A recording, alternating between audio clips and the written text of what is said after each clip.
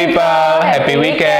Kembali lagi bersama aku Fahri. Dan aku Eja. Kita lagi ada di program Yunis Weekend. Untuk you people di mana pun Anda berada, tetap jaga kesehatan dan selamat berakhir pekan. Selamat menghabiskan waktu dengan orang-orang terkasih nih, keluarga, sahabat, teman, dan sebagainya. Nah, karena menyambut momen Ramadan nih, kita pengen ngucapin selamat menunaikan ibadah puasa 1443 Hijriah bagi you people yang merayakannya. Iya, semoga puasa di tahun ini diberikan keberkahan dan kelancaran. Nah, seperti biasa ya you people, kita akan berikan 5 informasi berita menarik untuk you people di rumah, jadi stay tune sampai akhir.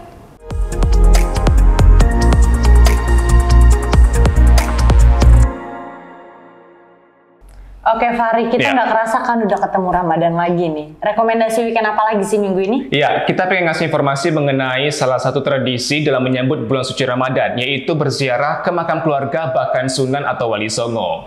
Nah, seperti di Cirebon, Jawa Barat, banyak warga mendatangi makam Sunan Gunung Jati untuk memanjatkan doa sekaligus melakukan napak tilas, mengenang jasa dan sejarah para ulama terdahulu. Iya, bagaimana sih tradisi jelang Ramadan ziarah makam Sunan Gunung Jati? Berikut informasinya.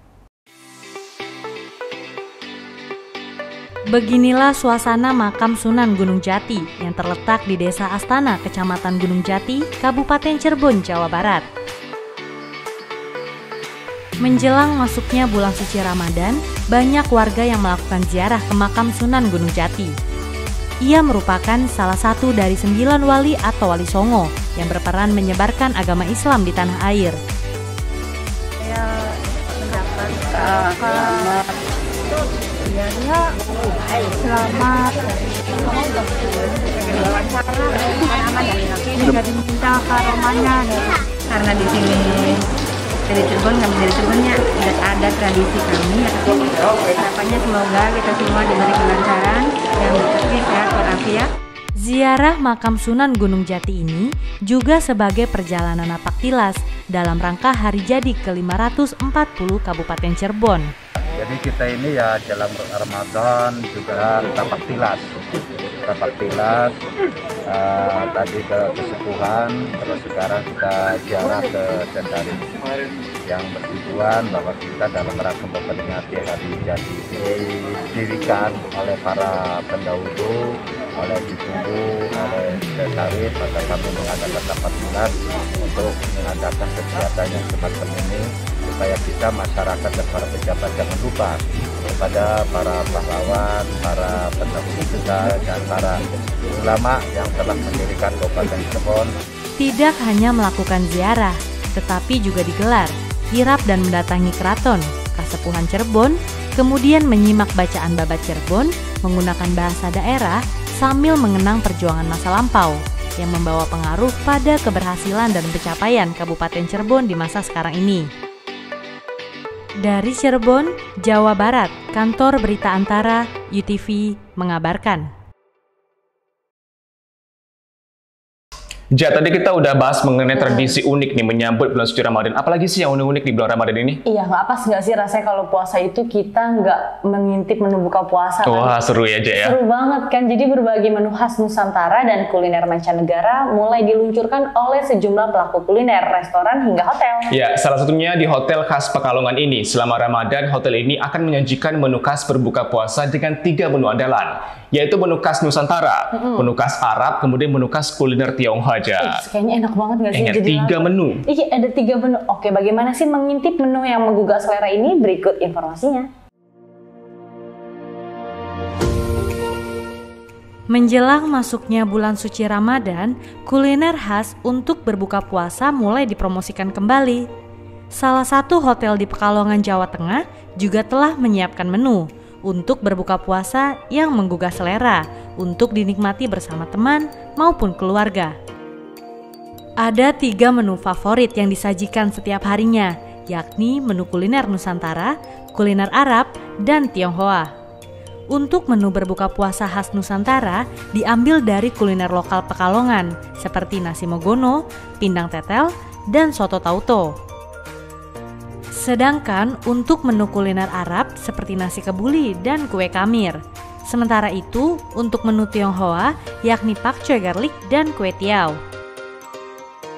General Manager Hotel Khas Pekalongan Miss Mariani Rakib mengatakan, Dengan hadirnya menu berbuka puasa tersebut, diharapkan bisa memberikan semangat untuk berbuka puasa, serta dapat mengenalkan menu khas Nusantara. Ini kita launching untuk Ramadan Iftar ya. Kita sebutnya dengan Hasanah Iftar.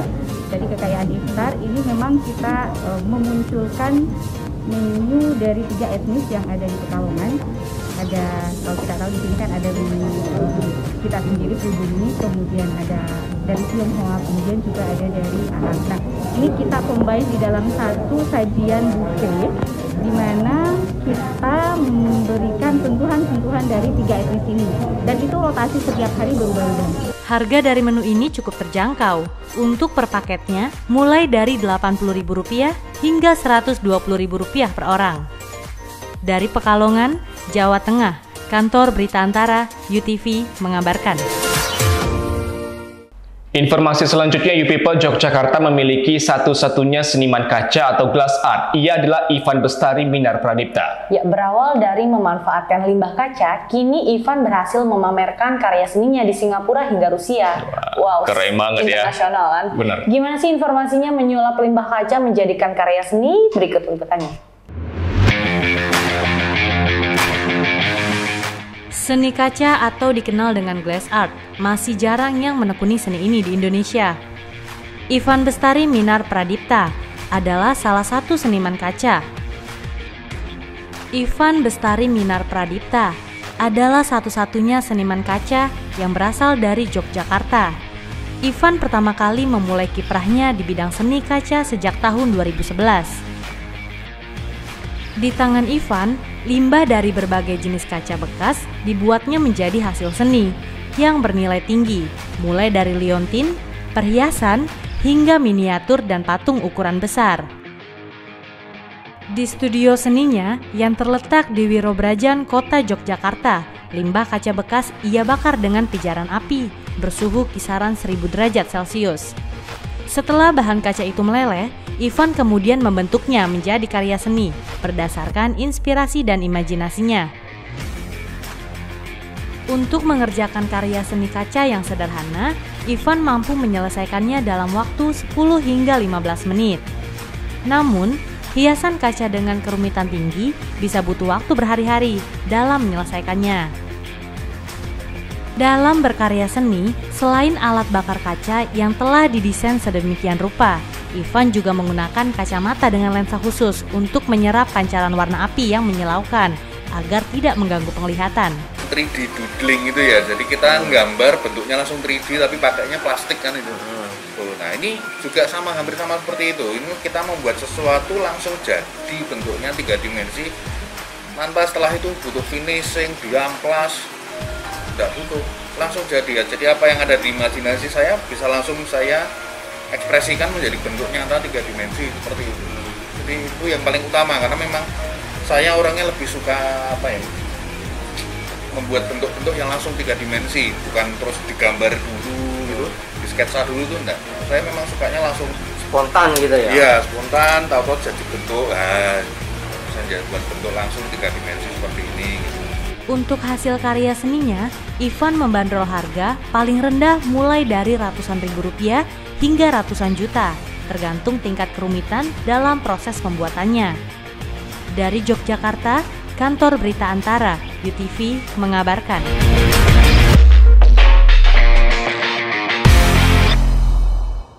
You people, seorang mahasiswi ditemukan dalam kondisi tidak bernyawa di sebuah kamar kos-kosan di Jalan Pramuka, Tanjung Pinang pada Jumat siang. Ya, polisi menemukan korban di kamarnya dalam kondisi telungkup serta terdapat muntahan dan bubuk berbahan kimia. Ya, bagaimana informasi mengenai mahasiswa ditemukan tak bernyawa di kosan? Ini dia informasinya.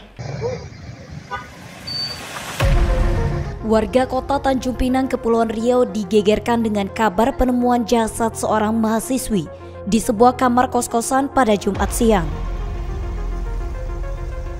Kasat Reskrim Polres Tanjung Pinang AKP Awal Syaban Harahap mengatakan, sosok mahasiswi itu merupakan wanita bernama Hilda Rahmi berusia sekitar 22 tahun.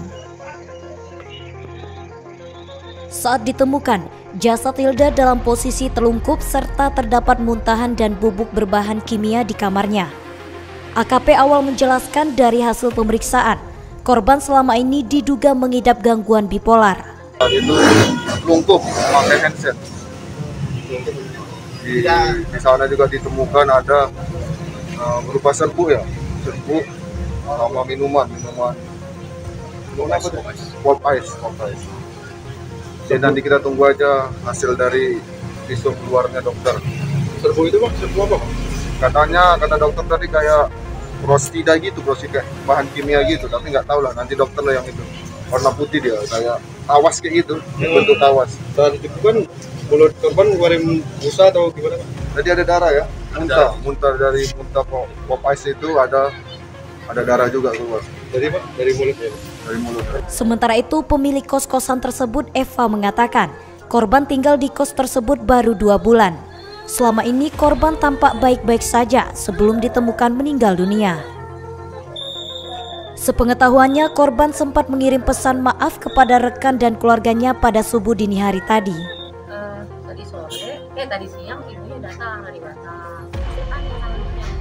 oh ibu uh, ada ini atau ada film atau apa?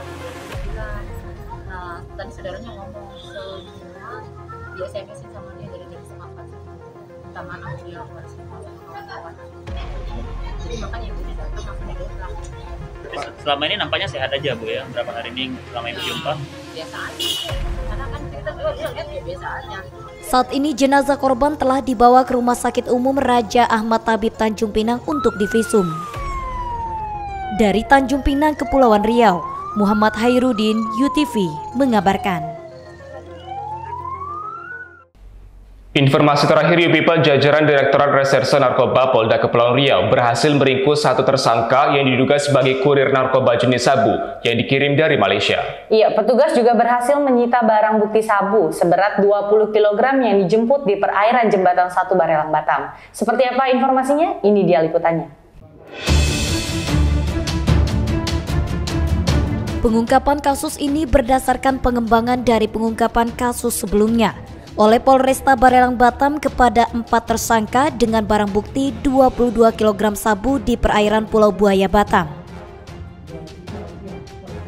Barang haram tersebut diduga diseludupkan dari Malaysia melalui jalur laut ilegal di Kepri. Direktur Reserse Narkoba Polda Kepri, Kombes Pol David mengatakan, tersangka berinisial Z diamankan saat membawa sabu di jembatan satu Barelang Batam dengan menggunakan but pancung. Rencananya sabu akan diantar ke daerah Sagulung Batam kepada seorang pemesan. Tersangka mengaku dirinya dijanjikan dengan imbalan sebesar 40 juta rupiah jika barang haram tersebut sampai kepada pemesan di Batam. Diduga tersangka terlibat dalam sindikat narkotika internasional yang biasa menyeludupkan sabu dari luar negeri ke Indonesia melalui Kepulauan Riau. Pelaku peredaran maupun penyalahgunaan narkotika maupun prekursornya uh, ini kita lakukan kebetulan uh, ada informasi dan juga merupakan hasil pengembangan kita dari tangkapan 22 kg oleh Polresta Barelang kita lakukan pendalaman dan informasi itu ternyata benar sehingga pada kemarin tanggal 21 eh, pukul 22.00 WIB di perairan Jembatan 1 sesuai dengan informasi yang kita dapatkan ternyata benar eh, ada seseorang di boot yang menggunakan boot yang kita curigai dan kita lakukan eh, pengamanan penangkapan di kita geledah ditemukan di yang bersangkutan membawa dua tas ransel yang isinya masing-masing kurang lebih 10 kg yang kita duga uh, narkotika jenis sabu Atas perbuatannya, tersangka akan dijerat dengan Undang-Undang Nomor 35 Tahun 2009 tentang narkotika dengan ancaman hukuman maksimal pidana mati. Dari Batam Kepulauan Riau, Panca Nugraha, UTV mengabarkan. Informasi tadi sekaligus mengakhiri News Weekend edisi kali ini. Tetap saksikan News Weekend edisi selanjutnya setiap hari Sabtu pukul 11 waktu Indonesia Barat di YouTube Official TV. Iya, tetap jaga kesehatan di mana pun you people berada dan selamat berakhir pekan dan selamat menunaikan ibadah puasa. Salam, Salam sehat, sampai, sampai jumpa. Bye-bye.